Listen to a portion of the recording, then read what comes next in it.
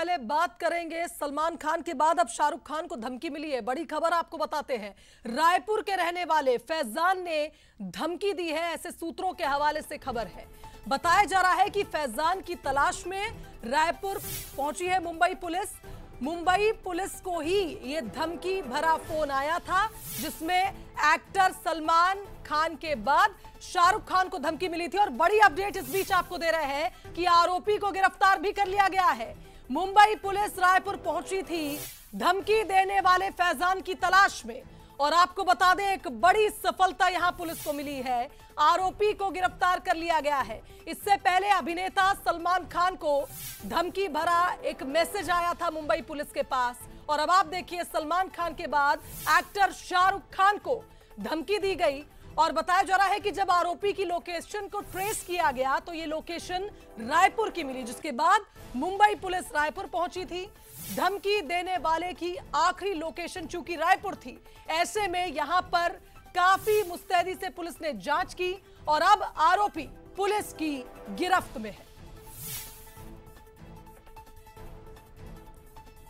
चलिए, संवाददाता गौरव का रुक कर लेते हैं। हमारे साथ इस खबर पर लाइव जुड़ गए रायपुर से। गौरव, एक बड़ी सफलता इसे कहेंगे, धमकी देने वाला, जिसकी आखिरी लोकेशन रायपुर ट्रेस हुई थी, और पुलिस ने अब इस आरोपी को पकड़ लिया है।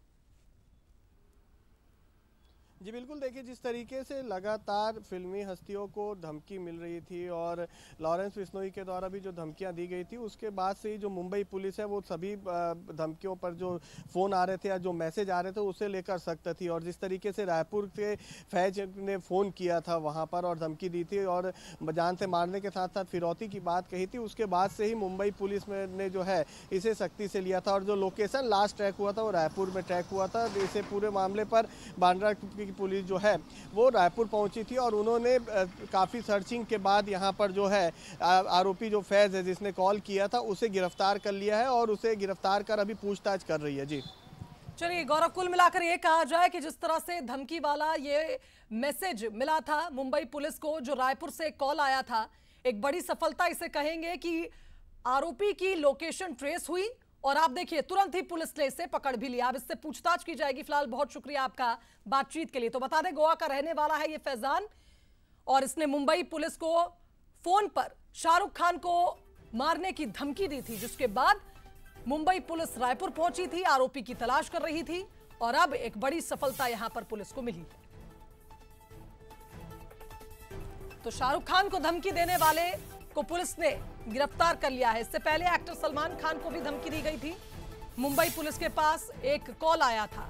और आपको बता दें कि फिल्मी हस्तियों के साथ साथ इससे पहले मुंबई पुलिस को ही उत्तर प्रदेश के सीएम योगी आदित्यनाथ के खिलाफ भी एक धमकी भरा कॉल आया था। और आप देखिए, एक बड़ी सफलता अभिनेता शाहरुख खान को धमकी देने वाले को रायपुर से गिरफ़्तार किया गया।